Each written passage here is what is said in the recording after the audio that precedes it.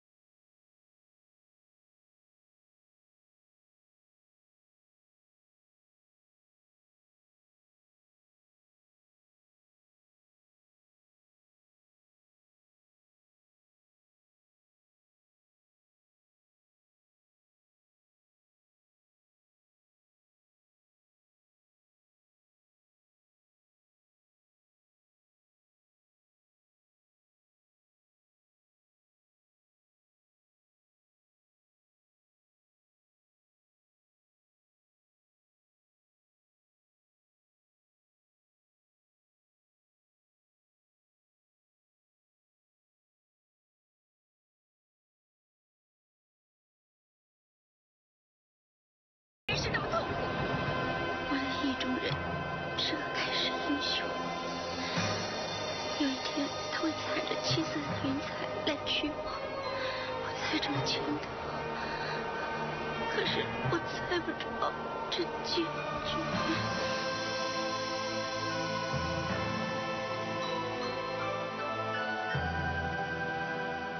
那《大话西游》啊，这个电影风格也被带上了一个后现代主义的这种称号。它好像条狗啊！曾经的一个年度烂片儿。现在一跃成为香港电影的经典。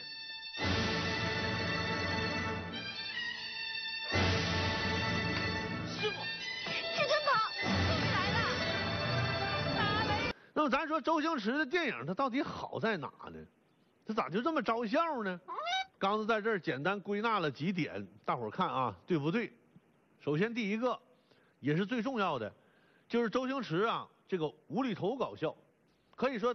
在他之前没有这种成型的所谓的无厘头搞笑，哎，这是他创作出的独特的风格。随浪，知己今宵。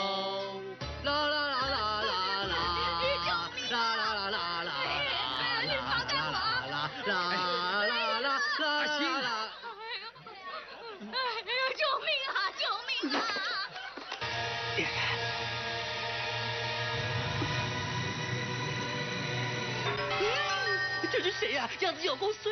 你看着好像毫无逻辑，说白了，他这搞笑好像天上一脚地下一脚。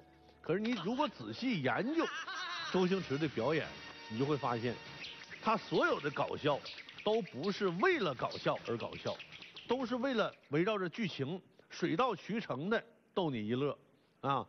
甚至有的是把这个想象啊发挥到极致。